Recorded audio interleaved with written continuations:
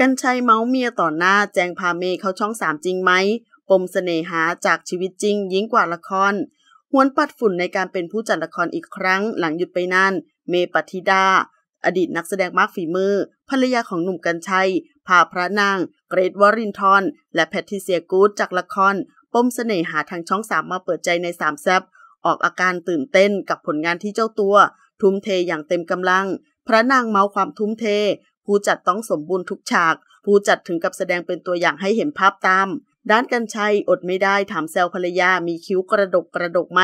เหมือนตอนเล่นละครเรื่องรอยไหมกับแอฟ ทักษอร เขาเล่นเป็นโจทก์กันเวลาเข้าฉาก ขณะที่แอฟช่วย confirm พี่เมย์พลังมาเต็มใช่ไหม แค่หันมองก็ ค่ะเกรซถึงกับหันไปถามติดตลกกรรชัยว่าเรามีไหมสายตาที่พี่เมย์เขาหันมามองเรา กันชัยรีบบอกว่าไม่มี เราเฉยๆ เมย์ถึงกับส่งสายตาพิฆาตมาเลย ทำเอากันชัยหัวเราะ ถามว่าช่วงโปรโมทละครได้ปรึกษาเจ้าพ่อกระแสไหม เมย์บอกว่าไม่ได้ปรึกษาเลยเนอะพี่หนุ่มเนอะ พร้อมกับหันไปถามสามี โดยหนุ่มกัญชัยก็บอกเช่นเดียวกันว่า ไม่ได้ปรึกษา เราต่างคนต่างจะไม่ก้าวไก่ซึ่งกันและกัน พี่ก็มีหน้าที่ที่ต้องหาแขกอะไรไป เขาก็คุยเรื่องบทตัดต่อเขาทำทุกอย่าง เขียนบทแก้บทตัดต่อเขาจะทำในมุมของเขาคนเดียว คนแบบนี้เขาจะไม่ค่อยให้ใครเข้าไปยุ่ง ในห่วงเวลาที่เขาทำงาน หลายคนมองว่าเป็นผู้จัดช่องสามครั้งแรกเพราะหนุ่มกัญชัยสามีพาเขามาหรือเปล่า